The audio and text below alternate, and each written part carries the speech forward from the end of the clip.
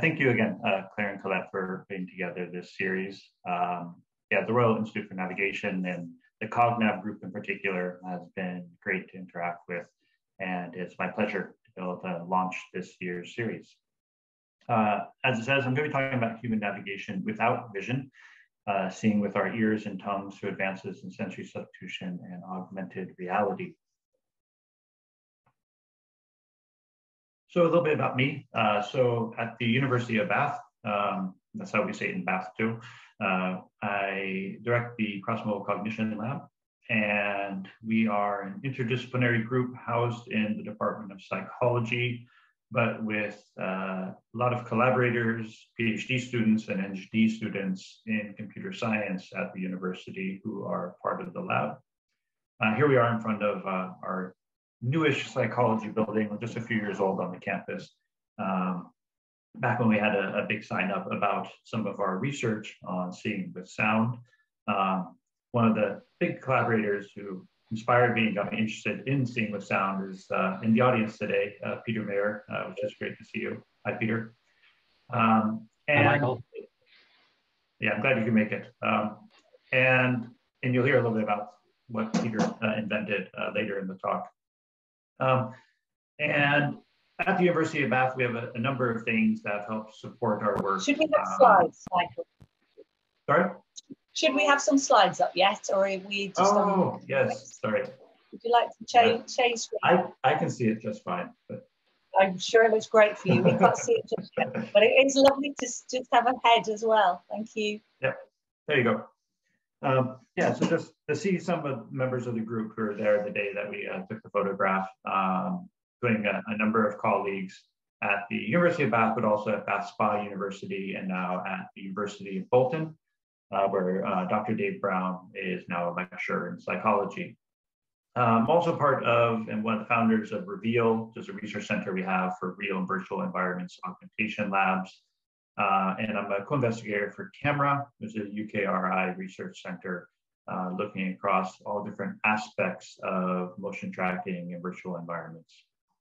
Uh, and one part that's been really helpful in a lot of my work into spatial cognition applications uh, has been funding in collaboration with Atkins, uh, working in particular with their human-centered design uh, architecture team, which is a great group. And as Colette mentioned uh, in the beginning, um, I'm currently over at what's now called Meta uh, since the big name change uh, at the end of last year. I'm still waiting for the new logo for Reality Labs Research, which is where I'm based for a two year sabbatical. Um, working um, primarily uh, in vision. So, with the eye tracking team in particular, and how eye tracking can be integrated uh, across a number of applications and a number of other sorts of things we like to track, like hands, heads, bodies, uh, as people interact in various spaces. Uh, and so far, it's been great uh, working with the team. It's really fascinating to see how things work on uh, this side, on the industrial side of things. So a core fundamental question uh, that underlies a lot of my research, um, whether it's looking at uh, these sorts of devices that can uh, assist people who have visual impairments, or whether it's looking at the eye tracking side of research that I'm doing over here at research, um, at Reality Labs Research, uh, is this sort of simple question. What does it mean to see? Now, in some ways, it's probably sort of deceptively simplistic, right? Because on the one hand, you could probably ask, you know, and a young person, what does it mean to see? And, they'll have some easy answer for you. Uh, you ask a, a, vision scientist or an engineer, you might get a very different answer. Um, but I think it's fundamental for being able to understand a lot of things, particularly when doing research on humans, as most of my research is, uh, because we are such a visual species. You know, we rely on vision to an incredible degree. Um, we have one of the highest visual acuities for mammals, um, which is pretty exceptional and sort of shows the importance of it and the amount of processing in the brain that we dedicate to it. Uh, something incredibly important to us, which is why something like visual impairments are so fascinating uh, because you'll have people with a visual impairment trying to interact with the world designed by a bunch of other people who uh, might be able to see quite well. Um, but in thinking about this question and different approaches to it, you know, it's something that's been important to define for a long time. And you know, I love this. There's a memo from the Artificial Intelligence Group at MIT back in 1966 uh, when they defined something as the Summer Vision Project, uh, with their idea that they would put a bunch of just summer workers towards um, handling computer vision.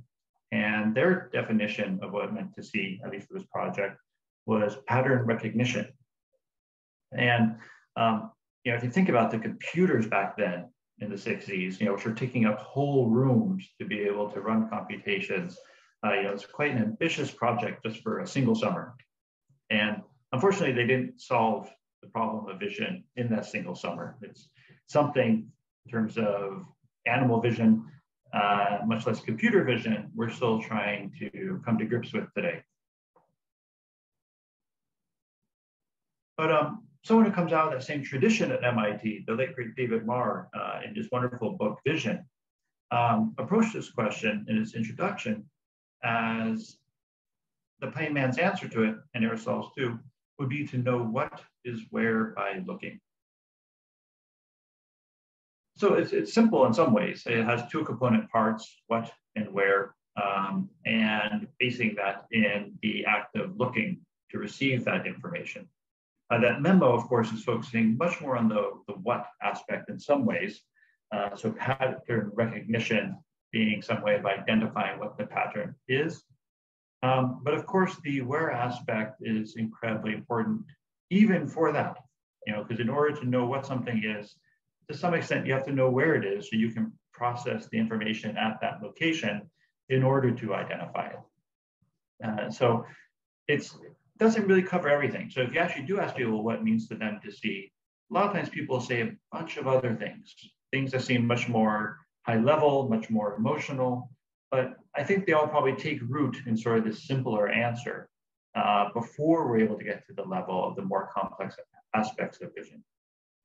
And vision is something funny because it happens so quick and it seems so effortless to us as human adults that we kind of take for granted how much processing is required to take all this information that's coming in and activating the cells on our retina in order to get to the level of knowing what something is and where something is. You know, we seem to do it without effort. We seem to do it quickly and automatically, but there's really a lot going on um, that we need to understand. So we see hear, touch, taste, smell, and experience all of our senses in the brain. I, this sounds obvious, but um, it's important to realize that a lot of the really interesting processing that allows us to see or to more broadly to perceive is happening through all these computations in the brain. So obviously we use the eyes, ears, fingers, mouth, nose to bring in the information from the environment but all the really interesting processing that takes place to allow us to actually have these perceptual experiences is taking place in the brain. And so there's an important idea that comes out of that.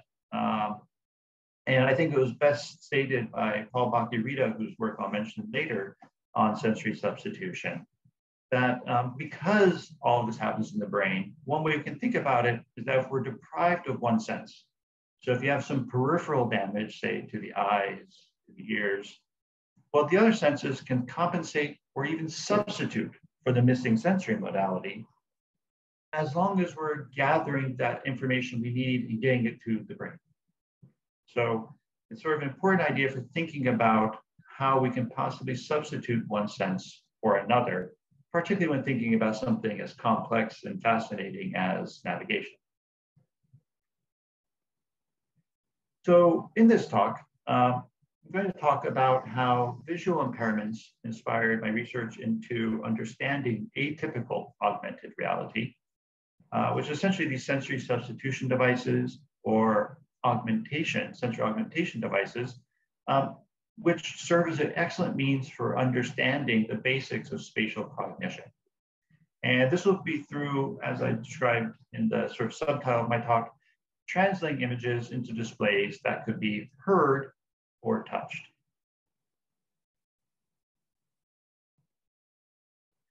So at the core of this comes uh, a bunch of research over the years that has demonstrated the importance of visual experience for cognition broadly.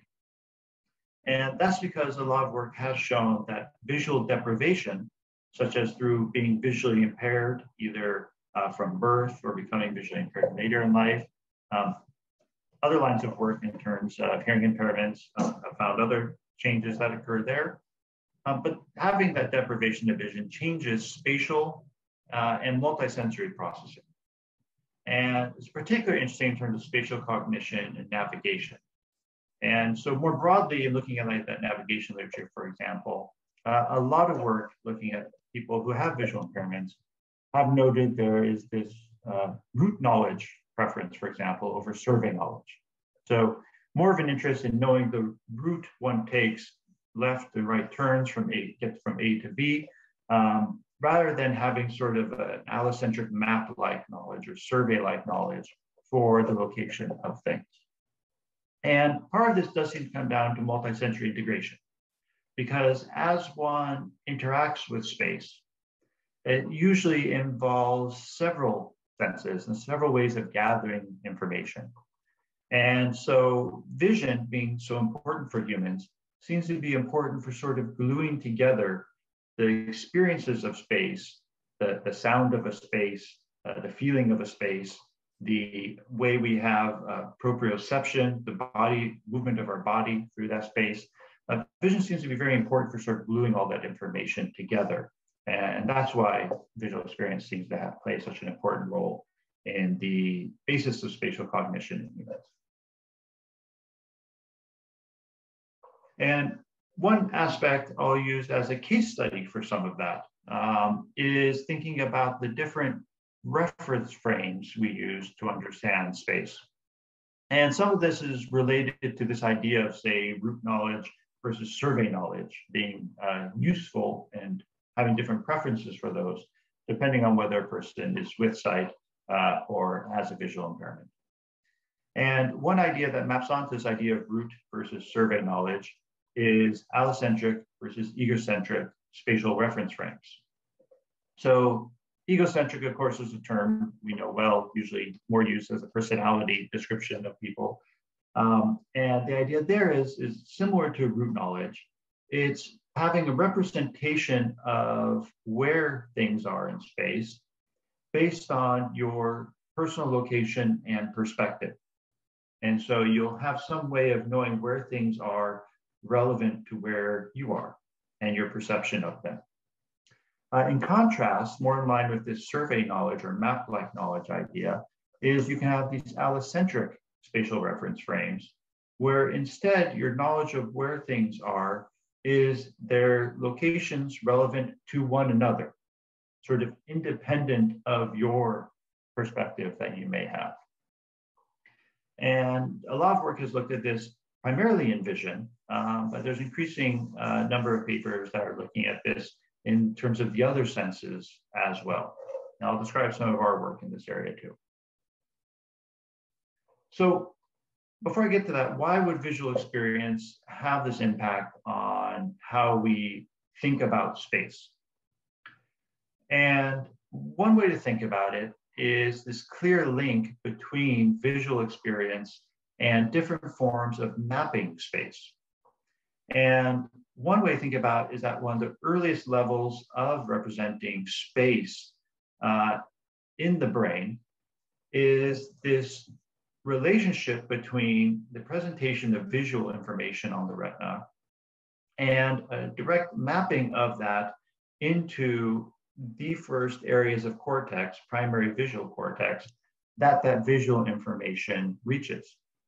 And within primary visual cortex, so if you look on the right here, you'll see it at the back of the brain. So this is the front on the left, this is the back on the right. Uh, and you have these multicolored areas along here that are representing different parts of the visual field that are presented to someone.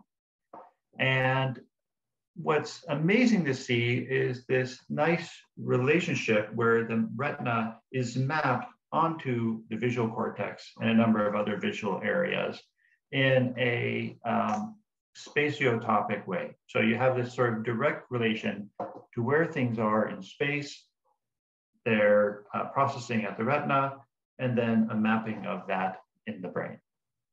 And so you have these spatial maps directly present there that will let you know where something is being uh, presented to the one who's seeing it. And there's also this, this work here, for example, which has directly looked at this uh, in the brain of uh, monkey, the macaque monkey, cats, for example, among other species, where using tracers that lead directly from the retina to the brain, you can see how the presentation of sort of this bullseye stimulus um, creates this clear mapping that you can see back there.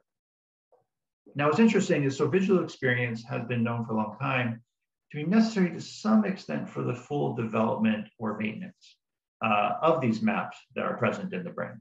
Um, they still exist. A, a, lot of them are still sort of laid down developmentally in the absence of visual experience. Um, but there's definitely some sort of plasticity in the brain where because they're not used, they aren't necessarily fully maintained uh, through adulthood in the absence of any visual experience. So that's one way visual experience is important for sort of spatial mapping in terms of how the brain might be able to represent it. Um, another is just thinking about what vision is good for. And one reason vision is so useful for us as humans uh, is that it is a great way to be able to access and represent silent objects that are distal, so they're far away from you, so not something you can necessarily touch. You know, we can see a star and have an idea of its location. Um, and also vision is good at parallel processing. So we can process information to a certain extent from across the visual field in parallel. For example, if you want to, um, depending on what sort of football team you might be a fan on, let's say your team wears uh, red, uh, you can pay attention to the color red and sort of in parallel pick up on those locations. So then you can make an eye movement to the different uh, people wearing red to find, say, the player that has the ball. And so you can do some of these things in parallel. And so vision is also good for that. And this way of representing things that are far away and representing things in parallel is incredibly useful for something like this allocentric reference frame that I described earlier. Because one way of being able to do that is having to have access to this information of where things are related to one another in some parallel uh, acquisition sense. But let's put this in the context of a study. So um, a lot of work by McNamara, including this work um, with Mou and colleagues, have looked at the role of vision for representing space uh, in terms of egocentric reference frames and allocentric reference frames. Um, one way to do this, um, you can do this, of course, outdoors, representing, say, buildings in a city. Um, but easier way to manipulate it is in a room with objects in front of you. And one way they'll go ahead and present this is they'll have a person standing in one location. And so acquiring the information visually about where the information is and trying to remember the location of the objects. So remembering what and where, and then testing their ability to remember that. And they'll test their ability in two ways. One is this egocentric condition where they'll ask them to imagine later, so there's a memory test for the locations, um, the locations of the objects related to other objects within the uh, display here. And so people will be asked to, for example, imagine you're at the banana facing the frying pan. Now point to the book. And so it'll be consistent with the way in which they acquired the information from this egocentric perspective. Uh, but in the memory test, they'll do a manipulation as well, where they'll ask them to do a different view that doesn't align from the one that they actually saw. So they actually saw the object physically in the room from this angle that you're seeing the photograph. But then the test will also ask them to sort of mentally rotate themselves in the space And instead, imagine they're perhaps still at the location of the banana, but this time facing the scissors, and then they need to point to the location of the book. And so the task turns from just remembering what looked like from your egocentric perspective to having to understand the location of the objects related to one another to shift your perspective and then be able to represent the locations accurately. Now, in those vision tests, you essentially see this sort of sawtooth pattern that you see here, where people perform more accurately in the conditions that are allocentrically defined. And they surprisingly perform worse at the conditions that are egocentrically defined. Now, one reason for that, if we look back here at the objects, is that in order to encourage this allocentric reference frame and to allow it to be successful, you'll notice you'll have these nice rows and columns that are coming from this oblique angle uh, instead of this more haphazard diamond shape that's coming from this egocentric angle. And so it looks like in vision, people sort of automatically just represent the objects in relation to one another uh, to such an extent that they'll actually perform better from viewpoints that give them this metric in this allocentric reference frame, um, and even better than they would from the actual direction they saw the items. Now, what you're actually seeing here is a slightly different data set. And in this one, because we're interested in visual experience, what we did was we blindfolded sighted participants. And instead of allowing them to see the objects, we took them from this location at the bottom of the screen and went to each object and back to the origin, to another object, back to the origin, again and again, until they walked to each location, felt the object to recognize what it was, and then they were tested on their memory for the scene through this method of acquiring the information through proprioception, walking, and through touch as they felt the object to find out its identity. And so what's interesting here is we found the exact same pattern of results that you would find as if they had seen them. So they still seem to pick up on this allocentrically defined metric for the locations of the objects, and they perform better in this memory task in terms of being able to point to where the objects were in relation to one another. So even though they were blindfolded, they still seem to form this idea of the allocentric relationship of the objects. So then we also tested people who had visual experience earlier in life, but became visually impaired later in life, profoundly visually impaired. And in this late blind group, we essentially found the same pattern as the sighted group. So they also, in the same task of walking to the objects and feeling them, um, had better performance for the allocentric condition than for the egocentric condition. So rather than using the starting point of where they walked from to remember where the objects were, they seem to pick up on this survey-like representation of where the objects were. The last group we studied were those who had no visual experience. Uh, and so this was a group of people who were congenitally blind and therefore never had any visual experience to form up some of these mental maps of the world. And this group had the opposite pattern of effects from those who had visual experience. So here what we see is they perform better in the egocentric conditions than in the allocentric conditions.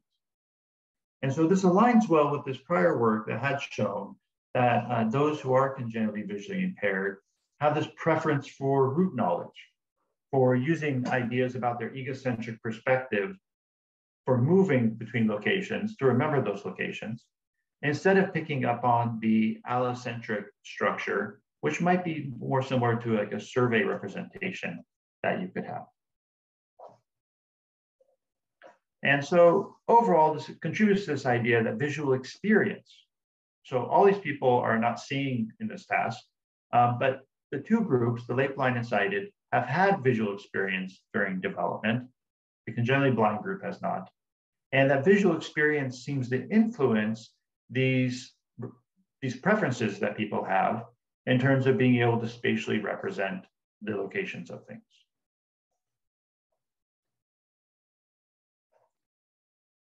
Now, I'm going to shift a little bit to discuss technological approaches for thinking about how we could provide visual experience to those without it.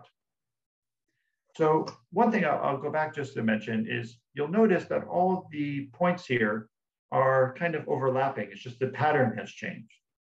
And so one group did not perform better than another. They all performed at the same level overall.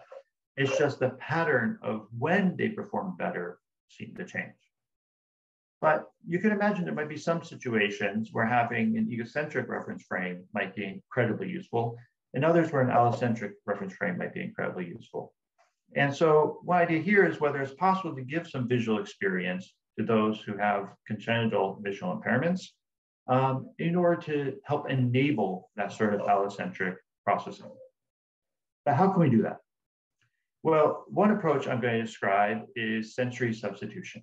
So going back to what I discussed in the beginning, it's this idea that if one sense is impaired, perhaps we can substitute another sense to provide the information to the brain that otherwise would be provided by that sense. And so this is largely done with what are essentially augmented reality devices. Uh, and the examples I'll describe are seeing with sound or the tongue. And we have a, a news article from a while back uh, in the Observer and the Guardian that described uh, some of our work using the voice. So you see here, V O I C E, uh, which is the uh, device that was invented by one of our um, audience members here, uh, Peter Meijer uh, from the Netherlands. Now, when trying to think about how you could turn images into something that could be processed by another sense, substituting for vision, you come to, for me, as someone who studies psychology, neuroscience, and computer science, um, a huge information processing challenge. So there's different estimates of how much information the different senses can process. Uh, vision, as I mentioned earlier, like in humans, we have great spatial acuity. Um, we're able to process a lot of information per second with some old estimates that actually converge with some estimates uh, in neuroecology uh, as well. And we're able to do that more or less in parallel. Now, one of the first sensory substitutions uh, chose tactile or touch processing as a way to access image information, uh, in part because it's easy to imagine to some extent. So you can think of the skin as a spatial analog to the retina. So for example, if I was just to present you know, these letters on the screen to your retina, you can imagine how the light enters the eye, and then you essentially have that image of the letter on the back of the retina. Um, similarly, you can play a game where you write letters, say on someone's hand, and you have this spatial analog to being able to feel the letters, kind of in the same way the retina is processing the visual information of the letters. But our, our touch system uh, has lower acuity than vision. Um, it processes a lot less information per second than vision. And across a lot of studies, they seem to suggest that a lot of this touch processing is serial.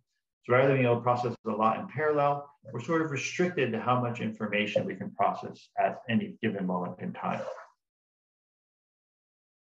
So Paul Bach-y-Rita, who I mentioned in the beginning, um, created one of these first sensory substitution devices uh, as an image from their work in the 60s, where the image is taken in by a camera, uh, processed back here to take the pixels in that uh, black and white image. And then you could feel it on your back. You can see all these sort of little solenoids here on this uh, dental-like chair, um, where then if there was say a circle shown in front of the camera, like a ball, you would feel that shape on your back with the size of it changing depending on how close the ball was to the camera lens. Uh, nowadays, coming out of that same tradition, um, ended up the researchers coming out of Bach-y-Rita's tradition formed a company uh, which has created something called the BrainPort. Um, so we have an older version down here. So essentially you have glasses with a camera right above the nose and a processing unit that converts the image into these pixels um, which are then felt on the tongue.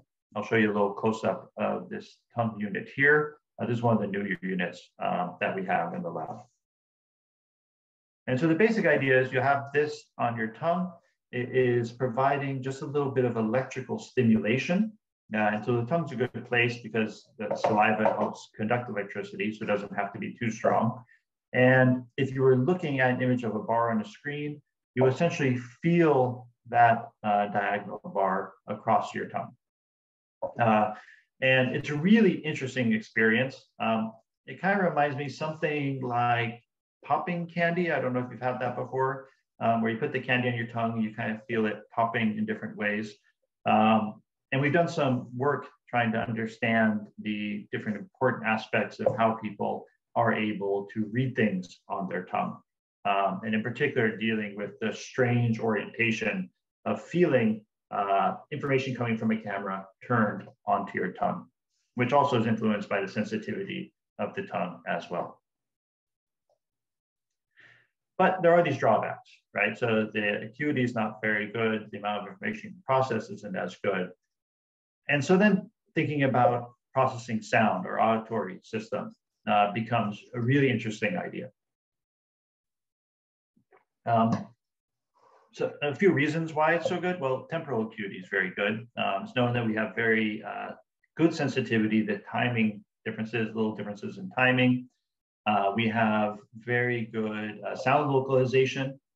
Um, this is something actually uh, this team called the Heffners have looked at um, across uh, mammals and seen this relationship between having sort of highly sensitive uh, foveal vision like humans have. So we have a very sensitive region at the sort of center of our retina and uh, sound localization ability. So uh, animals like us can use localizing sound as a way to turn our eyes to the right location to be able to localize where the sound's coming from and identify its source. So there's a multisensory link here that's crucial. And so we're, we're good at sound localization as well. Uh, you can process more information in sound than you can in touch. Still less than vision, but it's getting you much closer to that level of information processing. Uh, but the problem is, how can we provide visual spatial information through sound, right? Doing this in touch seems more obvious. Doing it in sound really takes a, a bit of a creative leap. So one way to think about it is the first, let's just do a little experiment here. Um, each of these shapes has a name. One of these is called Kiki and one is called Bouba. And perhaps you can just put something in the chat or just think the answer to yourself. Um, what do you think this first shape is called? Would you call this one Kiki or Bouba?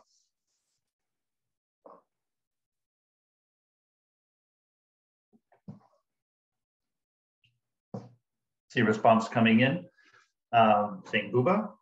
And someone else says definitely Bouba. Um, and I can't say you're right or wrong necessarily, but I will note that that's consistent with what over 90% of people say.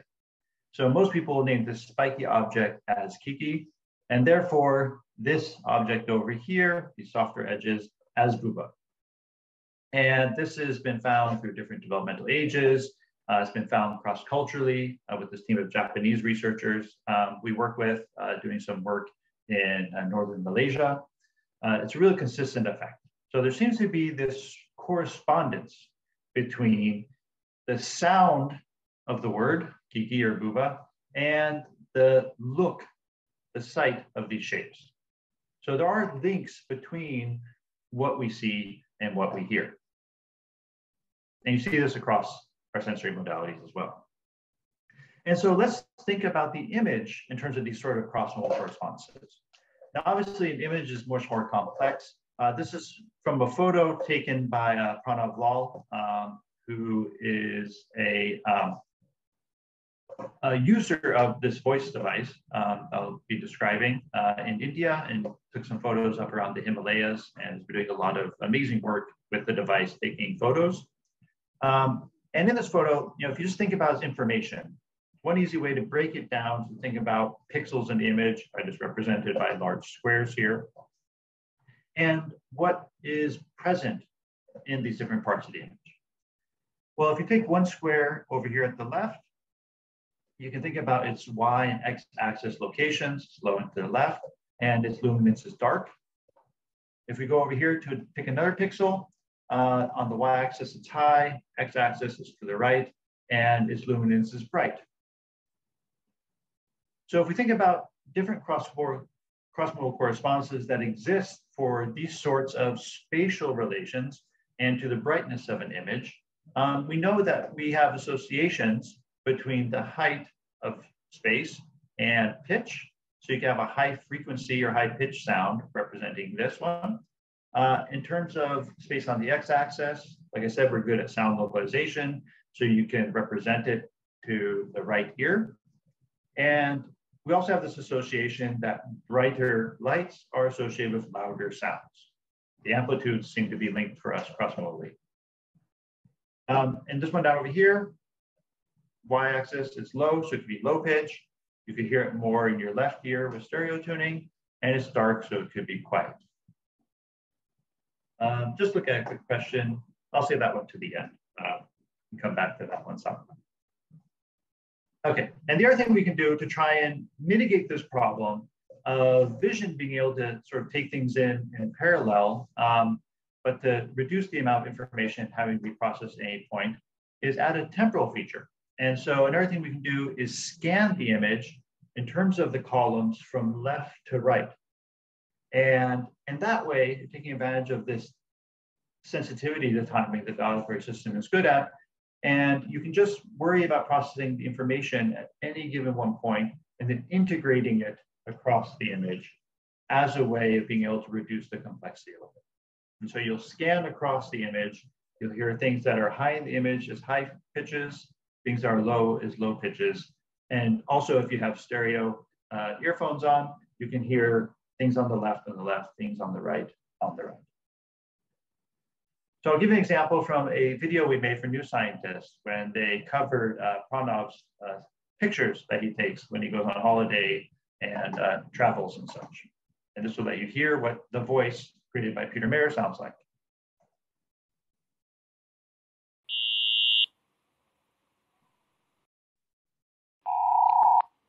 So hopefully you can hear that okay. You'll hear a high pitch as it scans across the flat line, a low pitch as it goes across the flat line at the bottom. Here, as it scans across, you'll hear a change in pitch.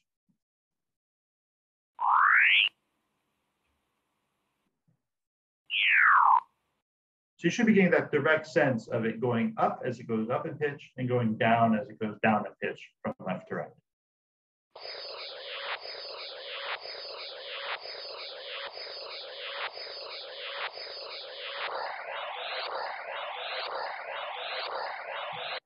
Now, of course, what you hear is the complexity of real images compared to these simple shapes. Uh, it's very representative of the complexity of the world. You know, the world has a lot of information within it. And once you think about it in terms of trying to translate to sound, hopefully you can pick up on the complexity that when we see, we might take for granted.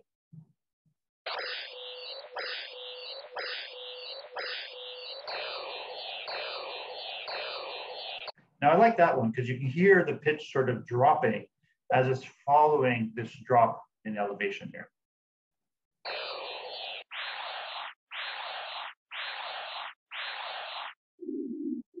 And there's just an example of augmentation as well.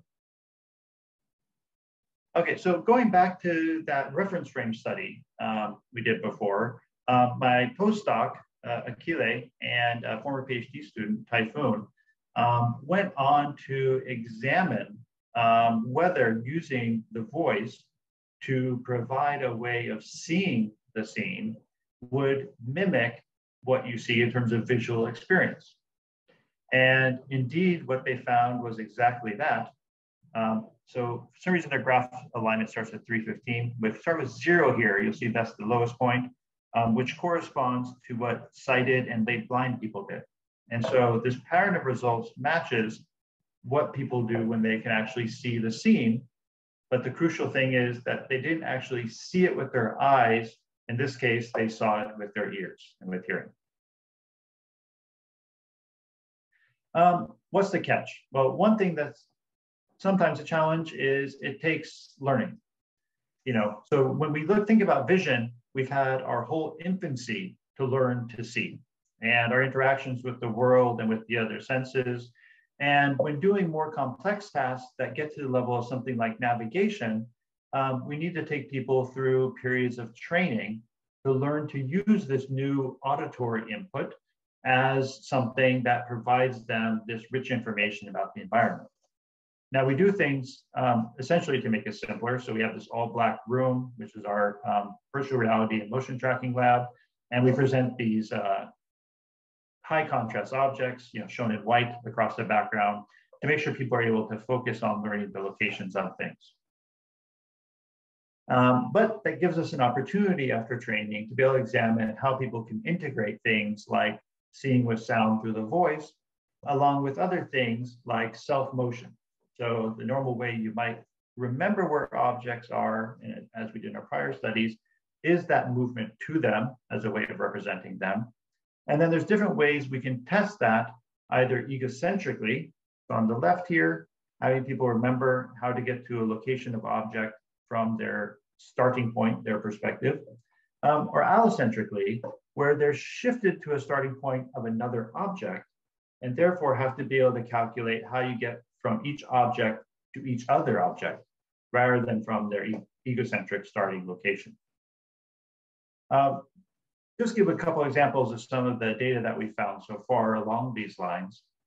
And one thing I think is exciting is uh, doing comparisons between those who are sighted versus those who are visually impaired and finding that um, participants are able to uh, efficiently integrate using the vOICe to hear the environment with self-motion information. Uh, and that's what you see by having sort of the lowest um, variability in their error. So their precision gets very good. And it gets to the level of ideally being able to integrate the two forms of input. So seeing with sound and with their self motion of walking through the environment. Uh, and they were performing better than sighted if they were visually impaired using the device with their self motion as well. Of course, this is for egocentric tasks, which we know the visually impaired are very good at. Um, but what we were excited was to see that the visually impaired were also able to integrate and have strong performance uh, as good as the sighted in terms of their precision in the allocentric tasks as well. So where they have to really think about where the objects are located in relation to one another rather than their starting point. Uh, so we're really excited about that work. Now, can the learning process be made more efficient? Um, well, we're trying something new right now. So one thing we're trying is we developed an app game a few years ago um, that we've now had a chance to test, where we gamify learning to see with sound for lots of different uh, shapes, objects, you know, all just with on a mobile phone as one way of training to do it. And it's actually a pretty fun game for learning how to do it. Uh, and then we tested people in where tasks.